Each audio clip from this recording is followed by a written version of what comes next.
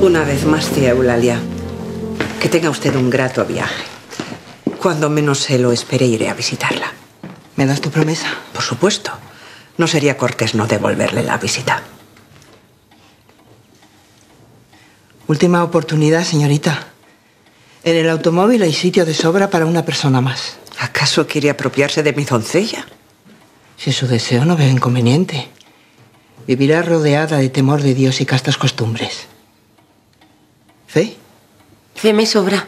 Y apetecible suena un rato largo, ¿eh? Lo de la castidad y todo eso, pero con todo el respeto devoto le tengo que decir que no. No. No es por mí, es por el altérrimo, ¿sabe usted? Pues que me ha colocado aquí por algo y no me gustaría a mí menearme, no vaya a ofenderse. Altísimo, niña, no es altérrimo. Eso. Más comprendo. El coche espera, tía Eulalia. Habrá de salir ya si no quiere llegar de madrugada. Como si importase. Echaré de menos estos muros. Has de saber, sobrina, que marcho cargada de buenos recuerdos. Pero marcha. ¿Qué se le va a hacer? ¿Y no deseas ir concretando tu visita a Madrid?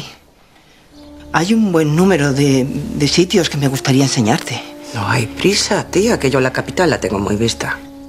¿Los jardines del Buen Retiro también? ¿El monasterio de las Descalzas? También. Adiós, tía. Adiós.